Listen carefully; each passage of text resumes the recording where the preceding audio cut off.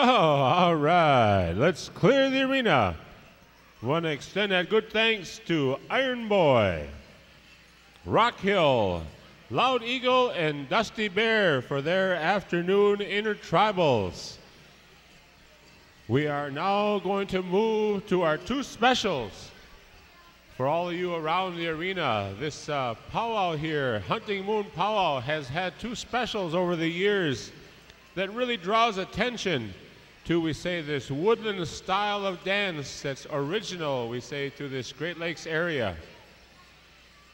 When you think of this woodland style of dance, we call it the women's scrub and the woodland style of dance.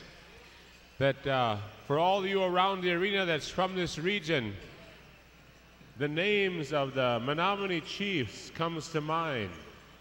We think of the people from up north, like Johnson and Manny and Barney Dowd and Archie Mose and Pete Mustache and names like that that come to mind. Dave Carafell, Junior Brown, Pete Beaupre, Leroy Sanapa.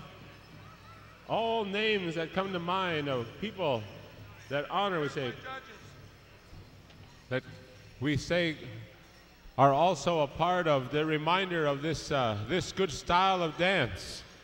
So we'd like to call out right now the judges for the old time women's scrub Doris Pywasset, Chippewa, Iris